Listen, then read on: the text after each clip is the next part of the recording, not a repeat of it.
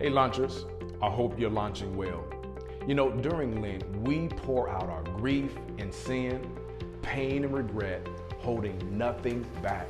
And in response, God too holds nothing back, pouring Himself out for our redemption.